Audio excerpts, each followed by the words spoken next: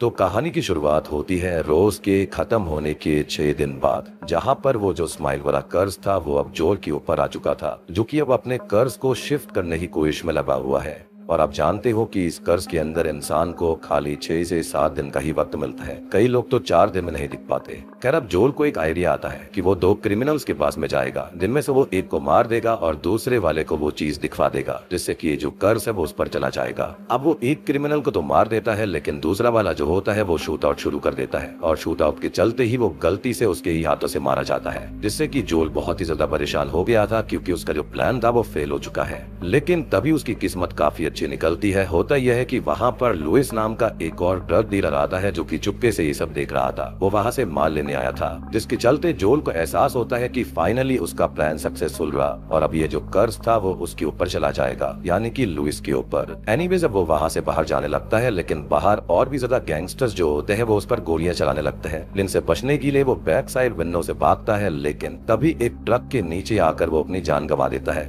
और यहाँ उसका शरीर पूरी तरह से टुकड़ों में बट गया था, जिसके खून के कतरे शरीर के टुकड़े स्माइल फॉर्म करते हैं, जो कि इस मूवी कर्स का और एनपीटी का नाम है, जहाँ से अब असली मूवी शुरुआत होगी। यानी कि पिछले मूवी के कैरेक्टर जो थे, वो इस वक्त खत्म हो चुके थे।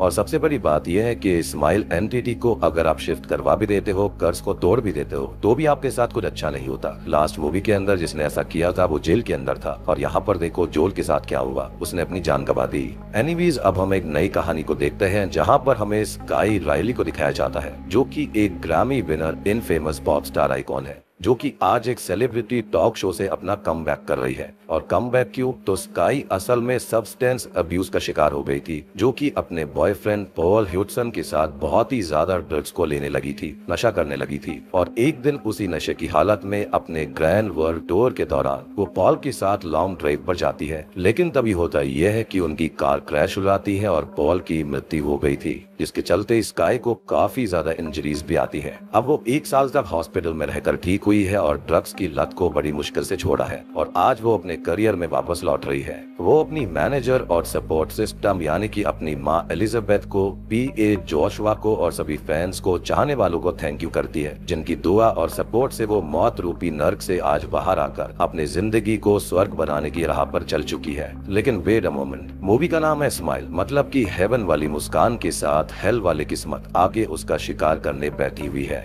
खैर, तभी हम स्काई को उसके अपकमिंग प्रोजेक्ट के लिए डांस प्रैक्टिस करते हुए देखते हैं। इसके अंदर उसे कुछ स्टेप्स के अंदर दिक्कत आ रही थी। और तभी वो रेस्ट रूम में जाती है। यहाँ पर वो अपनी बैग को देखती है जिस पर सर्जरी मार्क्स थे। उसके पेट पर भी वो मार्क्स होते हैं और उसे उसकी बैग का पेन जो होता है बहुत परेशान कर रहा था, जिस वजह से वो छुप कर पेन को खत्म करने वाला एक ड्रग आज भी कंज्यूम करती है। अब वो ड्रग टेबलेट लेने ही वाली थी कि तभी उसकी माँ यानी कि एलिजाबेथ डोल को नॉक करती है, जिससे डिस्ट्रैक्ट होकर वो डर से वो टैबलेट वॉशरूम में गिरा देती है। तो अब उसके पास और कोई ट्रक नहीं बचा था। अब एलिजाबेथ और जोशवा उसे उसके होटल ड्रॉप करने निकल जाते हैं, लेकिन वो दर्द से काफ़ी परेशान होती है। तो रास्ते में लुइस को मैसेज कर देती है जो कि उसे मिलने बुला ले जाए वो दोनों उसे होटल ड्रॉप कर देते हैं और वो उनके निकलते ही तुरंत ही टैक्सी लेकर लुइस के घर पहुँच जाती है। वो दरवाज़ा ओपन करता है और वो बहुत ही ज़्यादा डरा, पागल सा और परेशान था। वो उसको तलवार की नोक पर रखकर एग्रेसिवली पूछता है की वो यहाँ पर क्या कर रही है, जिस पर वो कहती है की उसने ही तो उसे मैसेज किया था की वो यहाँ पर आ जाए। लेकिन शॉकिंगली वो बोलता है की उसने उसे कोई मैसेज नहीं किया था और हम समझ पाते हैं कि ये मैसेज असल में उसी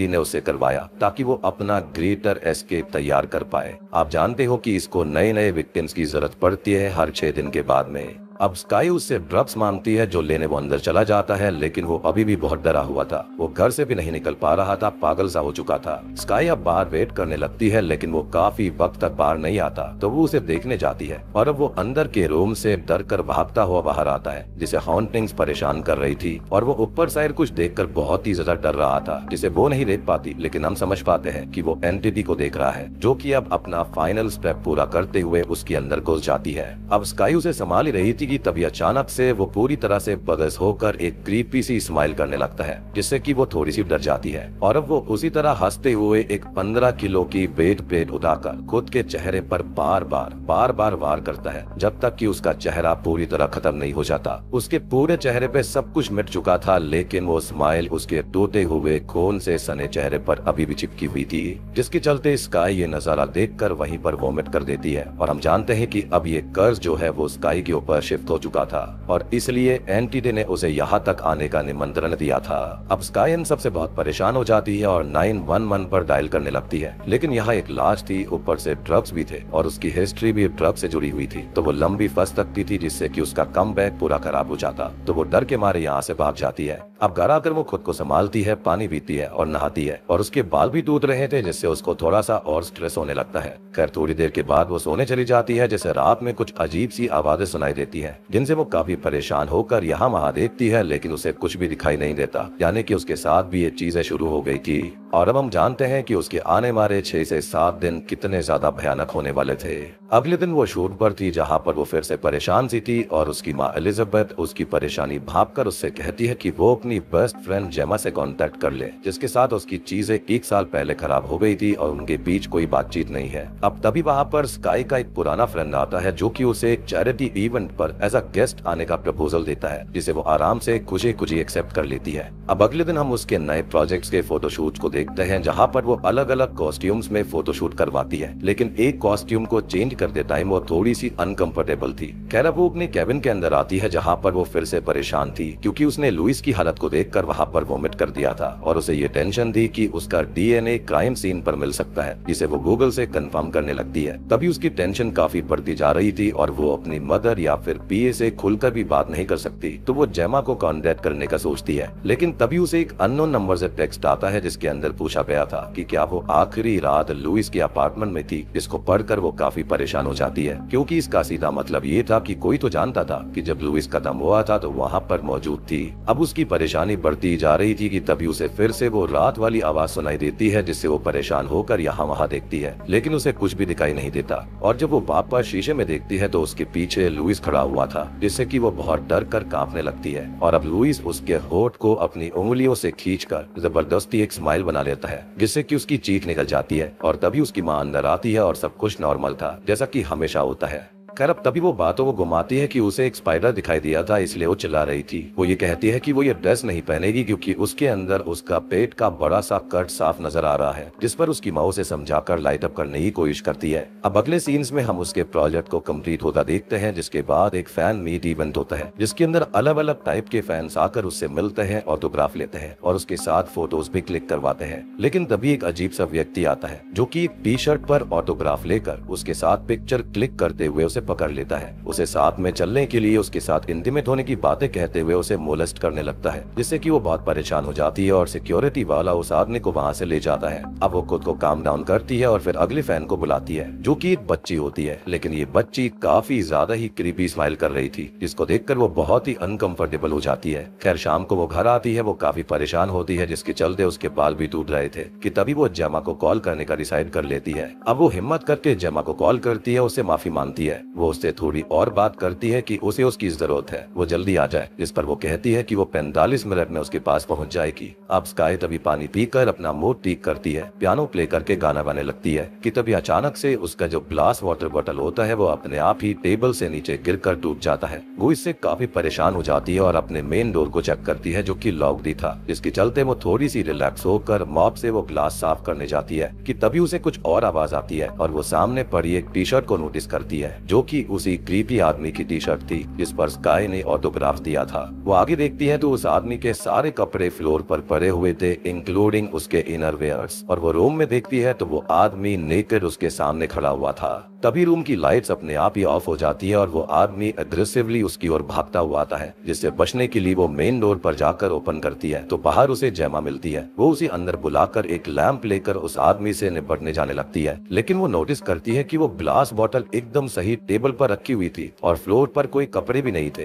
यानी कि ये सारे के सारे उसके हेलुसिनेशन थे। तभी वो जैमा से बात करती है जो कि उससे पूछती है कि उसे हुआ क्या है, क्या परेशान कर रहा है उसको। वो उसे सॉरी बोलकर थैंक यू बोलते हुए उससे ये पूछती है कि वो इतनी जल्दी कैसे आ गई, जिस पर जैमा जवाब देती है कि जल्दी क्या मतलब है। उसे एक घंटे पहले उसने कॉल किया था, जिसको सुनकर स्काई थोड़ा सा शॉक हो जाती है क्योंकि उसके हिसाब से तो अभी कुछ मिनट ही बीते थे। हालाँकि वो खुद को संभाल कर जेमा को बताने लगती है कि उसे कुछ नाइट हॉन्ट कर रहे हैं और उसके सामने अजीब अजीब चीज़ें होती है। तभी वो उसे लुइस के बारे में बता देती है की उसने उसके सामने खुद को खत्म कर लिया था और अब उसका स्माइल करता हुआ चेहरा उसे सब जगह हॉन्ट करता है। तो उसे क्या करना चाहिए? तभी जैमा उसे संभालती है और समझाती है और आज रात उसके साथ ही रुकने के लिए बोलती है। अब वो दोनों सो जाती है, लेकिन रात को स्काई अपने एक्सीडेंट का नायरमेयर देखती है, जिससे वो बहुत डर कर जागती है और जैमा उससे पूछती है की क्या हुआ? तो वो बताती है की अब वो बहुत ही ज़्यादा परेशान है। वो जानती है की सब उसकी गलती है और दिमाग में केओस और नॉइस भरा पड़ा है, जिसकी डार्कनेस के अंदर वो कैद होती जा रही है और उससे बाहर आना चाहती है, लेकिन उसे ये समझ नहीं आ रहा है कि वो कैसे उससे बाहर आए। जिस पर जमा कहती है कि वो एक बुरी इंसान है, जिसको सुनकर तो स्काई शौक से ये पूछते है कि उसने अभी क्या बोला। लेकिन जैमा कुछ भी ना बोलते हुए क्रीपी स्माइल करने लगती है, जिससे कि स्काई बहुत ही ज़्यादा डर जाती है। और अब तभी जैमा के चेहरे को देखते हुए स्काई को एक्सीडेंट की विजन आते हैं, जिससे डर कर वो फाइनली उठ जाती है और देखती है की जैमा वहाँ पर थी ही नहीं। तभी जैमा बाहर से उसके लिए कॉफ़ी लेकर आती है और स्काई नोटिस करती है की सुबह हो चुकी है, जबकि कुछ पल पहले तक रात थी। जैमा उससे ये कहती है की अब उसे जाना होगा, लेकिन स्काई उसे अंदर ही अंदर रोकना चाहती थी। हालाँकि उसे खुद अपने टूर की प्रिपरेशन करने के लिए जाना था। इसको पिक करने उसकी माँ भी आ चुकी है। अब वो टूर के लिए डांस शूट पर जाती है, जहाँ पर वो अचानक से गिर पड़ती है, और उसके टूटे हुए लेग्स उसे दिखाई देते हैं। जिसके दर्द से वो चिल्लाने लगती है, और सब उसकी हेल्प करने वहाँ पर आते हैं, लेकिन वो नोटिस करती है कि उसके पैर बिल्कुल ठीक थे। तभी वो चिल्लाकर पूछती है कि किसी ने उसे धक्का दिया था तो वो कौन था? जिस पर डायरेक्टर उसे ये बताता है कि उसके पास तो कोई आया ही नहीं था।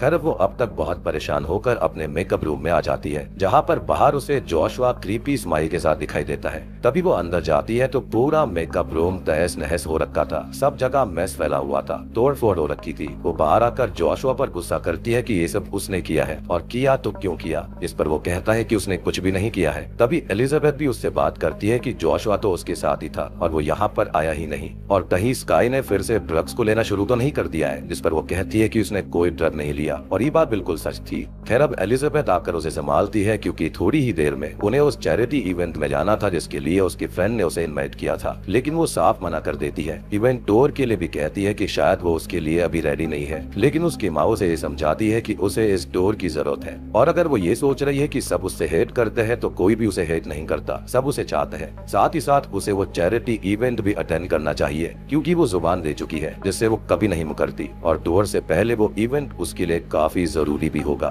खैर, अब शाम को वो टूर पर जाती है और बैक स्टेज पर जैमा को मैसेजेस करती है, लेकिन तभी उसे अननोन नंबर से एक और टेक्स्ट आता है कि उसे पता है कि वो पॉप सिंगर स्काई रायली है, जिसे पढ़कर वो और परेशान हो जाती है। यानी कि स्काई को इस बात की कंफर्मेशन हो चुकी थी कि जब वो लुइस के साथ उस दिन थी तो ये चीज़ किसी ने देख ली थी। अब तभी उसे स्टेज पर बुलाया जाता है, लेकिन जाने से पहले उसे एक मक्खी बहुत परेशान कर रही थी, जिसे पवाने के चक्कर में वो अपनी लिपस्टिक तक भी खराब कर लेती है। अब वो स्टेज पर आती है जहाँ पर उसे टेलीप्रॉम्प्टर से एक स्पीच बोलकर वापस जाना था। लेकिन स्पीच बीच में ही रुक जाती है तो वो खुद से ही बोलने लगती है, जिसके अंदर वो काफ़ी उल्टी सीधी और इरेलीवेंट बातें बोल देती है कि वो सिंगर कभी बनना नहीं चाहती थी। अब तभी उसका फ्रेंड और बाकी लोग उसे अलग नज़र से देखने लगते हैं, जिससे वो काफ़ी ज़्यादा एम्बेरस्ड हो जाती है। वो टेलीप्रॉम्प्टर को देखती है, जिस पर स्पीच अब वापस आने लगी थी। तो वो उसे रीड करती है और अगले गेस्ट को बुलाती है, जिसका नाम शॉकिंगली होता है पॉल यूटसन जिसको पढ़ते ही वो हिल जाती है, क्योंकि पॉल उसका ही बॉयफ्रेंड था और उस दिन वो एक्सीडेंट में उसकी आँखों के सामने ही खत्म हो गया था। वो परेशान होकर चिल्लाने लगती है कि ये नाम क्यों है? ये नाम यहाँ पर क्यों लिखा गया है? जबकि लोग शौक में थे कि वो पॉल का नाम ले क्यों रही है। लेकिन तभी हम शॉकिंगली भीड़ के अंदर पॉल को देख पाते हैं, जो की उसी क्रीपी स्माइल के साथ आगे चलते हुए स्टेज पर आ रहा था। वो इससे बहुत डर जाती है और तड़पने लगती है और बार बार बोल रही थी कि पॉल मर चुका है। वो नहीं रहा और ये एक झूठ है। तभी उसके पीछे खड़ी हुई ओल्ड लेडी उसको संभालने के लिए उस पर हाथ रखती है, लेकिन उसे यहाँ पर हॉन्ट करता हुआ पॉल दिखाई देता है, जिसको वो ज़ोर से धक्का देती है, लेकिन वो असल में ओल्ड लेडी थी, जो कि दूर जाकर गिरती है और काफ़ी ज़्यादा इंजर्ड हो जाती है। इवेंट तो खराब हो ही चुका था और अब तक उसका नाम भी काफ़ी खराब हो जाता है, और वो परेशान हालत में अपने घर पर थी कि तभी उसे उस अननोन नंबर से और टेक्स्ट आते हैं कि वो एक बहुत ही सीरियस डेंजर में है, और वो पर्सन उसकी हेल्प कर सकता है और उन्हें जल्दी ही मिलने की ज़रूरत है। खैर वो उसे टेक्स्ट करती है कि है कौन? तो आगे से ये रिप्लाई आता है कि जो चीज़ें उसे दिख रही हैं, वो इमेजिन नहीं कर रही है, बल्कि वो सब बिल्कुल रियल है। खैर, अब वो अननोन पर्सन उसे लुइस का वीडियो भेजता है, जिसके अंदर लुइस भी उन सब हॉन्टिंग्स को और उन स्माइल्स को फेस कर रहा था। और अब यहाँ भी तभी स्माइलिंग लुइस उसे हॉन्ट करता है, जिससे वो बहुत डर जाती है। तभी वो परेशान होकर घर से निकल जाती है और उस अननोन पर्सन की बताई हुई लोकेशन पर उससे मिलने पहुँचती है। यहाँ पर उसे वो अननोन पर्सन मिलता है जिसका नाम मॉरिस था और वो उसे ये बताता है कि उसने लुइस को चेक किया था जिसकी मौत के बाद उसका फ़ोन चेक करने पर उसे स्काई का आखिरी मैसेज दिखाई दिया, जिससे वो उस तक पहुँच गया है। वो बताता है की उसे पता है की जो अभी स्काई फेस कर रही है, जो देख रही है, जो जो चीज़ें उसे हॉन्ट करती है, ये असल में एक कर्स है, जो की एक के बाद एक पर्सन पर चला जाता है। मरने वाला मरने से पहले हॉन्टिंग्स और स्माइल्स को ही देखता है, जो कि असल में वही सुपर नेचुरल एंटिटी या फिर डीमन है, जो कि स्माइलिंग लोगों का फेस लेकर विक्टिम के सामने आकर उसे हॉर्न करता है, जो कि उनके वर्स्ट नाइटमेयर्स होते हैं। ये कर्ज काय पर आया लुइस से, जिस पर आया था जोल से, जिस पर आया था उसकी डॉक्टर दोस्त, यानी कि उसकी एक्स गर्लफ्रेंड रोज से, और रोज के ऊपर आया था उसकी पेशेंट से, और इसी कर्ज की वजह से उसने अपने भाई को भी खोया था। पर आपको याद हो कि ऐसा पहला केस शायद से ब्राज़ील के अंदर दिखाई दिया था। खैर मोरिस का जो भाई होता है, वो उसे बताने की कोशिश करता रहता था कि उसके साथ क्या हो रहा है। लेकिन तब उसने उसे पागल समझा और एक दिन उसके भाई ने अपना जबड़ा उखाड़ कर अपनी जान गवा दी। वो आगे ये बोलता है कि तब से ही वो इस कर्ज को ट्रैक कर रहा है और ये किसी पैरासाइट की तरह है लीच की तरह है, जो कि अपने विक्टिम को होस्ट बनाकर उसके ट्रॉमा डर और बैड मेमोरीज के ऊपर फ़ीड करता है। और जब उसका पेट भर जाता है, तब वो एक हफ़्ते के अंदर उन्हें पदस करके खत्म कर देता है, लेकिन किसी और के सामने, ताकि वो उस व्यक्ति के ऊपर चला जाए। और यही स्काई के साथ हुआ था और उसके साथ आगे भी यही होने वाला है।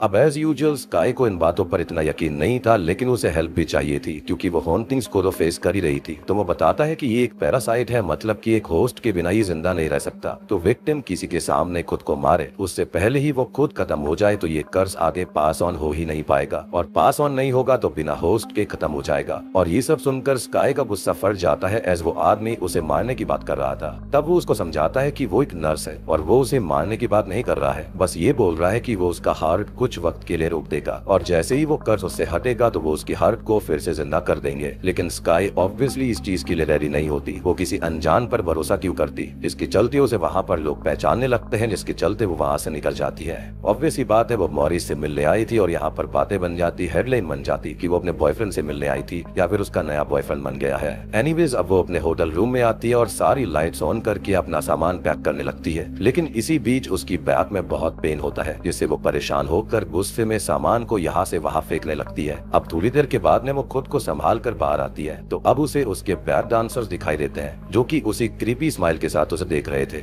लेकिन तभी वो लोग धीरे धीरे उसकी ओर बढ़ने लगते हैं, लेकिन वो उनसे बचकर भागने की कोशिश करती है। बट फाइनली वो उसे पकड़ने लगते हैं, जिसके चलते वो उसके साथ काफ़ी अजीब चीज़ें कर रहे थे। वो उसके बाल खींचकर उखाड़ने लगते हैं और उसके मुँह में अपना हाथ डाल देते हैं, जिसकी तड़पती आवाज़ के साथ स्क्रीन ब्लैंक हो जाती है। अब तभी हम वो एक्सीडेंट वाली रात को देख पाते हैं, जहाँ पर पॉल और स्काई असल में ड्रग के नशे में झगड़ा शुरू कर देते हैं और वो गुस्से में स्टेरिंग को खींच देती है, जिसकी वजह से वो एक्सीडेंट हुआ था, जिसके अंदर पॉल की जान चली गई थी। यानी कि रियलिटी में हुआ ये था। और ये जो प्रॉपर सीन हमने देखा, ये स्काई अपने नाइट में हमेशा देखा करती थी। उसे हमेशा ही गिल्ट था पॉल की मौत का। उसको लगता था कि उसने उसको खत्म किया। जिसके बाद स्काई की आँख खुलती है तो वो खुद को एक वेलनेस रिट्रीट में पाती है और उसके सामने उसकी माँ बैठी हुई थी। वो बताती है की उसे कंकशन हुआ था और वो ये कहती है की ऐसा कुछ भी नहीं हुआ। वो कुछ और ही था। लेकिन ऑब्वियसली उसकी कोई बात नहीं मानता। तभी स्काई ये कहती है कि वो टूर को कैंसिल करना चाहती है और उसे पहले ये सब रोकना होगा जो कि उसके साथ हो रहा था।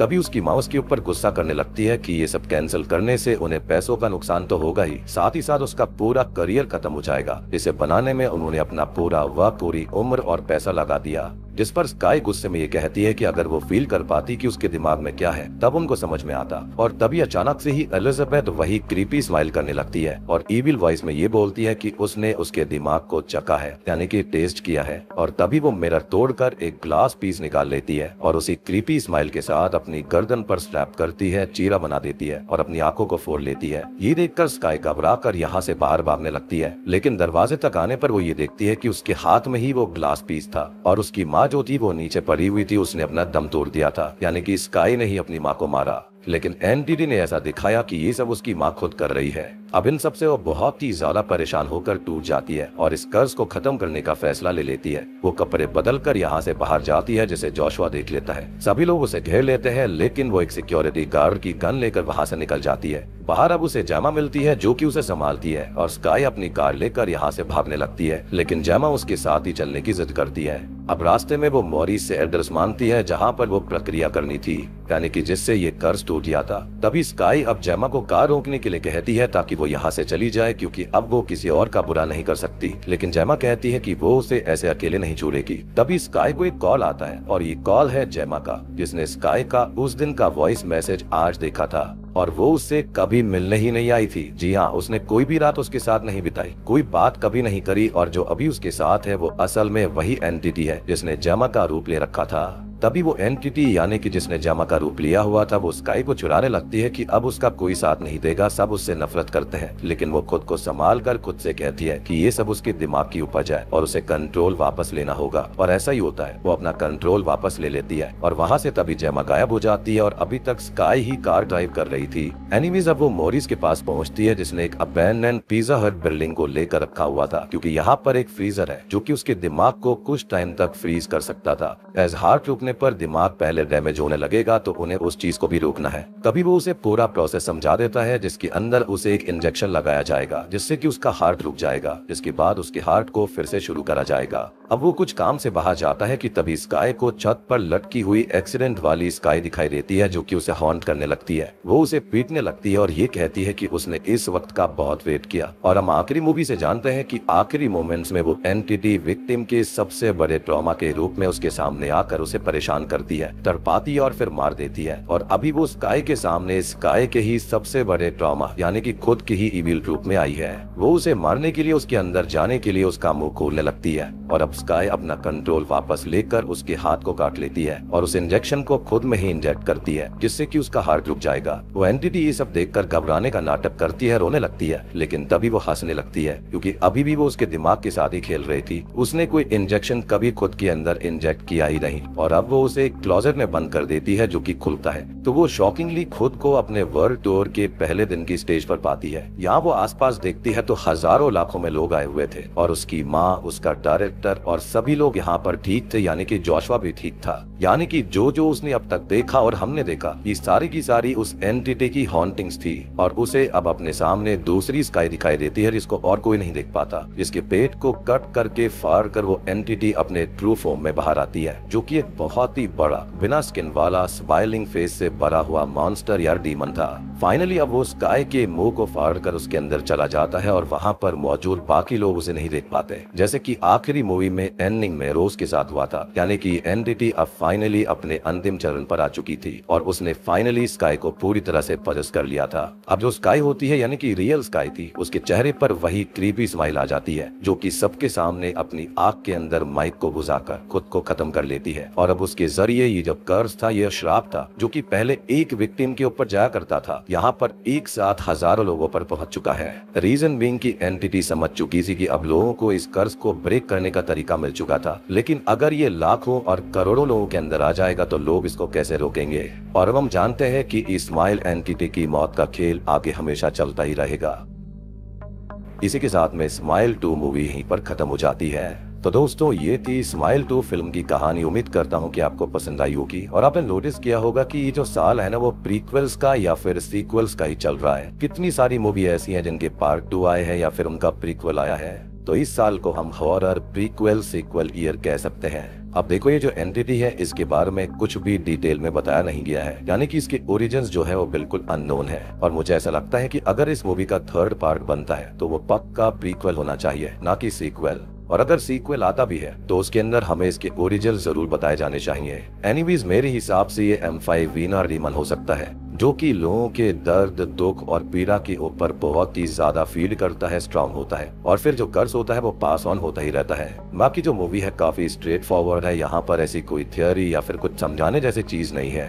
फिर भी अगर इस एंटिटी को समझा जाए तो ये किसी भी व्यक्ति को पलस कर लेती है। इसके चलते सात दिन तक वो उसके साथ बहुत ही ज़्यादा खतरनाक चीज़ें करती है हॉन्टिंग सिखवाती है। यानी कि उसके डर पर, उसकी सैडनेस पर गिल्ड पर फ़ीड करती है। और जब सातवां दिन आ जाता है या फिर छठे दिन की जो रात होती है, तब ये एंटिटी क्या करती है कि उस व्यक्ति के ज़रिए किसी भी अननोन पर्सन को बुलवा लेती है। या फिर ऐसी सिचुएशन क्रिएट कर देती है कि वहाँ पर कोई ना कोई बंदा मौजूद होना चाहिए, या फिर कोई लड़की मौजूद होनी चाहिए, जिसके चलते उसी इंसान के सामने ये एंटिटी उस व्यक्ति का सेक्रीफाइस करवाती है, जिसको वो व्यक्ति देख लेता है, जो कि उसके सामने खड़ा हुआ था। और ये एंटिटी अब खुद को उसके ऊपर फ़ीड ऑन करवा लेती है। और जिस किसी ने भी इस सेक्रीफाइस को देखा होगा, उसके ऊपर ये एंटिटी अब शिफ्ट हो जाती है, यानी कि कर्ज उसकी तरफ़ चला जाता है। और सेम साइकिल चलती रहती है रिपीट पर। लेकिन इस मूवी के अंदर तो इस एंटिटी ने लाखों लोगों के सामने खुद को दिखवा लिया था। यानी कि अब ये कर्ज लाखों करोड़ों के ऊपर जाएगा। मेरे ख्याल से अब ये मास स्केल पर, यानी कि ग्लोबल स्केल पर होने वाला था। तो उम्मीद करता हूँ कि अब आपको ये कर समझ में आ चुका होगा, मूवी समझ में आ गई होगी।